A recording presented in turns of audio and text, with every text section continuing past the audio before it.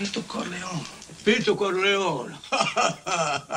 Ti pigliaste un nome di sto paese, eh? E sto paese come si chiama? Ah, io si chiama Antonio Mandolini. Eh, che forte, non si sento buono. Avvicinati. Mio padre si chiama Antonio Mandolini e questo è Petit.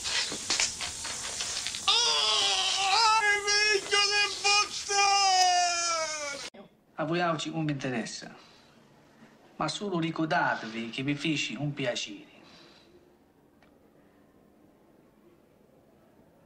Siamo d'accordo? Sì. Ah. Saluto. Salute. Michael, tuo padre ti vuole bene assai, ben assai. Megaluzzo. Why do you come to me? Why do I deserve this generosity? What have I ever done to make you treat me so disrespectfully? When, when did I ever refuse an accommodation? I hoped that we could come here and reason together. And as a reasonable man, I'm willing to do whatever's necessary to find a peaceful solution to these problems. What to do? I don't know what to do. You can act like a man! What's the matter with you? Is this how you turned out a Hollywood Pinocchio that uh, cries like a woman? what can I do? What can I do? What is that nonsense? You spend time with your family? Sure, I do. Good. Because a man that doesn't spend time with his family can never be a real man. I said that I would see you because I heard that you were a serious man to be treated with respect.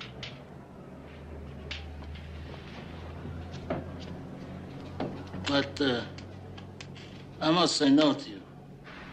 And I'll give you my reasons. But drugs is dirty business. Oh, Corleone. It, make, it doesn't make any difference to me what a man does for a living, you understand? I have a sentimental weakness for my children, and I spoil them, as you can see.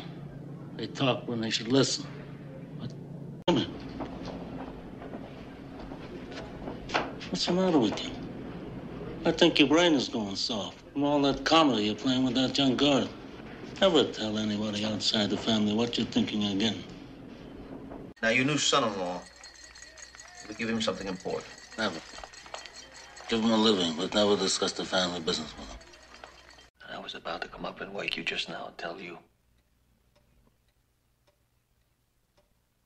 You needed a drink first.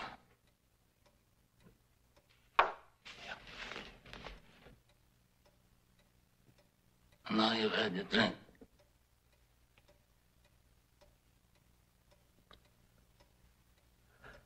They shot Sonny on the causeway. He's dead. I want all inquiries made. I want no acts of vengeance. I want you to arrange a meeting with the heads of the five families. This war stops now. I want you to use all your powers and all your skills. I don't want his mother to see him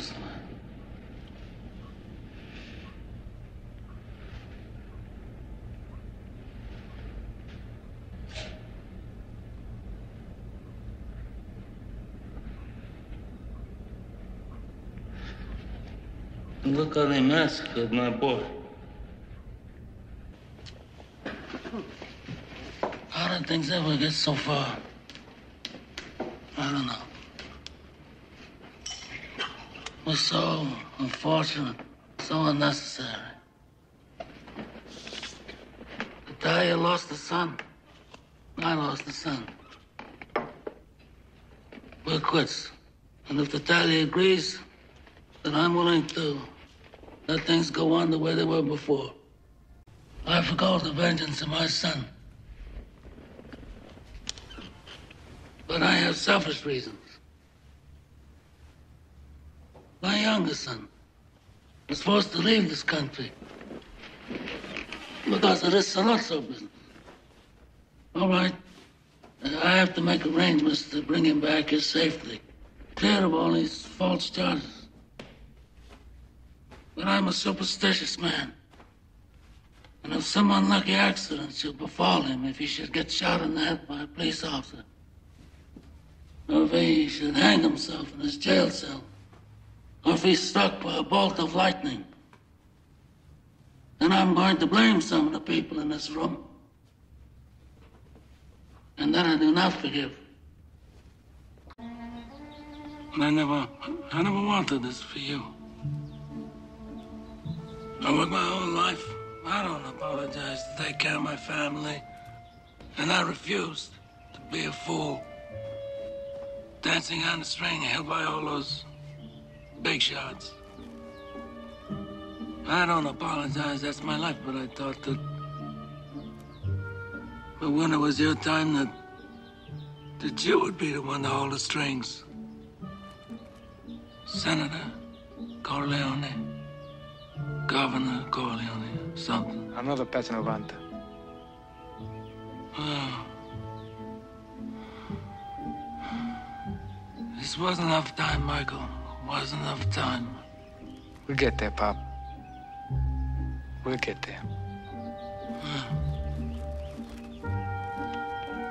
Now listen, whoever comes to you with a Barzini meeting, he's a traitor. Don't forget that. Well, Michael is now head of the family. Do you have faith in my judgment? Yes. Do I have your loyalty? Yes, always, Godfather. There'll be a friend to Michael. He knows he says.